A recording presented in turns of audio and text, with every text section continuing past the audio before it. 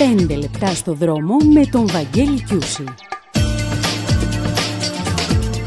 Χαίρετε κυρίες και κύριοι. Είναι 5η 10 Σεπτεμβρίου και ξεκινάμε τα σημερινά 5 λεπτά στο δρόμο με το αυτοκίνητο της εβδομάδας που δεν είναι άλλο από την Mercedes A-Class 250e, το μικρότερο plug-in υβριδικό μοντέλο της γερμανικής αυτοκινητοβιομηχανίας που χάρη στο συνδυασμό ενός turbo κινητήρα βενζίνης 1332 κυβικών εκατοστών και ενός ηλεκτροκινητήρα αποδίδει 218 ύπους εκλείοντας από 21 γραμμάρια διοξιδίου του άνθρακα ένα χιλιόμετρο. Αυτό σημαίνει πως η Α250e όχι μόνο δεν επιβαρύνεται με τέλη κυκλοφορίας, αλλά και ότι ο οδηγός της δεν επιβαρύνεται με τον γνωστό φόρο χρήσης εταιρικού αυτοκινήτου. Ικανή να κινείται αποκλειστικά με ηλεκτρική ενέργεια και μηδενικούς ρήπους για περίπου 70 χιλιόμετρα, η Mercedes Α250e ανακτά ενέργεια στην μπαταρία της κάθε φορά που ο οδηγός της πατά το φρένο.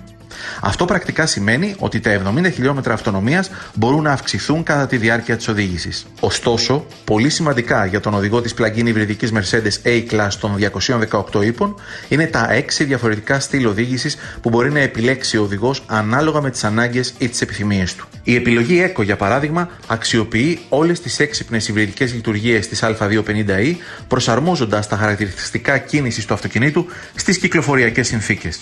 Στην επιλογή Battery Level δίνεται προτεραιότητα στην διατήρηση του επίπεδου φόρτισης της μπαταρίας, ώστε ο οδηγός να χρησιμοποιήσει την ηλεκτρική ενέργεια μόνο τη στιγμή που τη χρειάζεται. Για παράδειγμα, σε περιοχές που δεν επιτρέπεται η κίνηση συμβατικών οχημάτων. Η επιλογή Electric προσφέρει ρυθμιζόμενη ανάκτηση ενέργειας και προσαρμογή του συστήματος υποβοήθησης διατήρησης απόστασης Distronic, ενώ η μέγιστη ταχύτητα περιορίζεται στα 140 χιλιόμετρα την ώρα. Σε αυτή την επιλογή, αν ο οδηγός χρειαστεί περισσότερη δύναμη, αρκεί να πατήσει περισσότερο το πεντάλι του γκαζιού ώστε να ενεργοποιηθεί ο βενζινοκινητήρας. Το τέταρτο στυλ οδήγησης που μπορεί να επιλέξει ο οδηγός της plug-in υβριδικής Mercedes Α250e ονομάζεται Comfort και ισορροπεί ανάμεσα στην άνετη και στην οικονομική οδήγηση.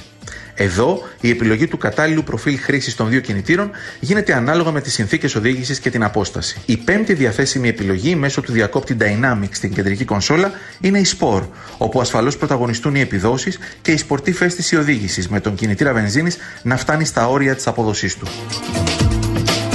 Τέλος, υπάρχει και η επιλογή individual, όπου ο οδηγός μπορεί να παραμετροποιήσει τη λειτουργία κάθε υποσυστήματος της plug-in υβριδικής Mercedes Α250e, επεμβαίνοντας για παράδειγμα στο σύστημα διεύθυνσης, τις αναρτήσεις ή το ηλεκτρονικά ελεγχόμενο πρόγραμμα ευστάθειας, γνωστότερο σε όλους ω ESP.